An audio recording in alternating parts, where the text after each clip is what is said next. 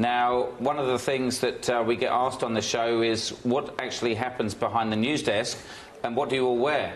Now, I think the other two might be a bit shy, but uh, as being property investors, long-term property investors, ideally we don't have to work for a living all day, every day. So uh, quite often we're coming straight off the boat Yeah. and literally uh, off the boat or off the beach and we're in our boardies and then obviously wear the dinner jacket as well just to uh, behave. And the Some- That's what we've done for 10 years, isn't Some, it, well, that's not we. Yeah. Not all What's this we business white man? I think is what the tagline is. Anyway, thanks all for uh, joining us on the show and for all the support over the last 10 years.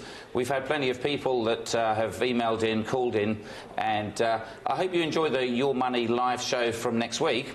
It's great to have uh, got so much feedback from all the clients, and uh, hopefully there'll be more to see uh, with all of us, hopefully uh, joining on the new show as things change.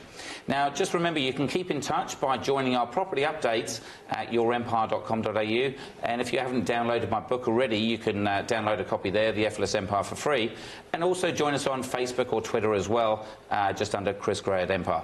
All right, thanks again for joining us, and until next time in a different environment, I'm Chris Gray. Until next time, good night.